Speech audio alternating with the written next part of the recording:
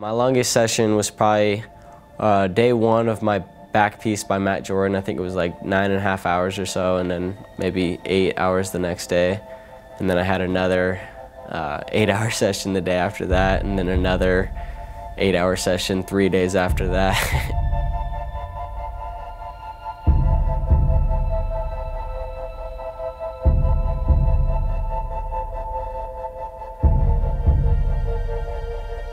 My name is Jordan Feno. I'm from a small town near Portland, Oregon, and I've been getting tattooed for about five years.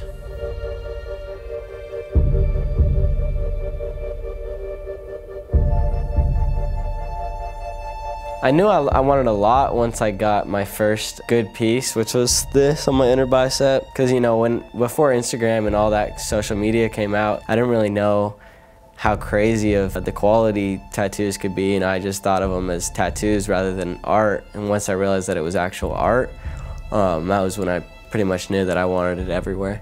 I've been tattooed by 22 different artists uh, for a total of about 250 hours worth of work. I was tattooed by two different guys in Idaho before I was of age. Um, can't remember their name exactly. I was tattooed by uh, another dude named Juan at the Portland Expo, um, a lady named Carrie at the Portland uh, Expo. I was tattooed by Orcs. Um, I was tattooed by Matt Jordan, Cecil Porter, uh, Vic Vivid, Luke Palin uh, Saul Lira, Stefano Alcantara, uh, Kyle Cotterman, Daniel Rocha, Vito, Isaac Roman, Bash, uh, Fred from Spain, um, Rock, uh, Dennis Savak, um, someone from Santa Barbara, and Jak Connolly a few times.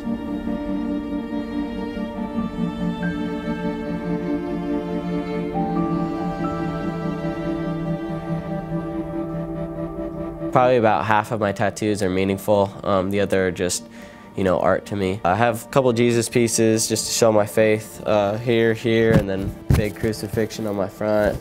Um, I have a Mary on my side that just basically symbolizes the pain that she went through with the crucifixion. Uh, I got my folks here, a brain with a key unlocking it that basically just symbolizes like what I had to do to keep my mind healthy. I have this light bulb guy that basically just symbolizes the, the mind that an entrepreneur has, you know, just ideas that pop into your head randomly. Um, I'm Italian, so I got Venice here. I have this heart with a crown of thorns around it, just show my faith.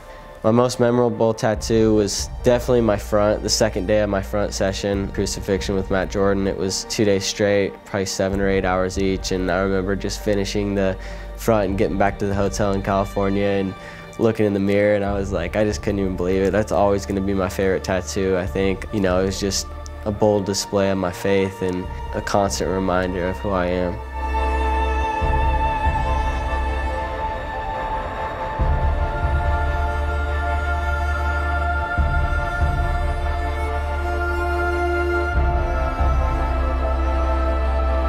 You know, I've met a lot of friends in the industry and whatnot. Um, and, and when you get tattooed, you do get looked at differently, but I feel like the people who look at you differently are really the people that you don't need, you know what I mean? If people take the time to get to know me, I think that they realize that um, I'm not a bad dude, you know? Every, a lot of people will see tattooed guys and just think that they'll have preconceived notions about them, but I think once you dig a little bit deeper, you figure out that you know, it is just art to people. It's not about, you know, being a gangbanger and, and being a bad dude or anything like that.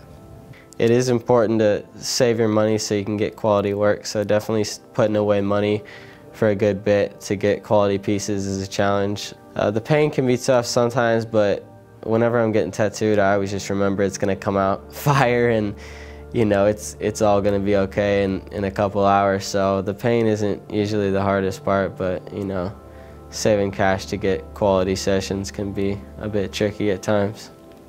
Getting tattoos is an investment and a hobby for me. I look forward to every single appointment I have. Anytime I book an appointment, I'm waiting a couple months and that's what I'm thinking about a lot of the days. But it's also an investment because you're saving your money and you're putting decent amounts of money into getting pieces on your body that are going to last forever, whereas I think it's more important to have one quality piece than to have 10 crappy tattoos. I know people who will just, you know, get a tattoo every month, but I think it's a much better idea to invest in yourself and, and save your money so that you have quality pieces overall rather than quantity.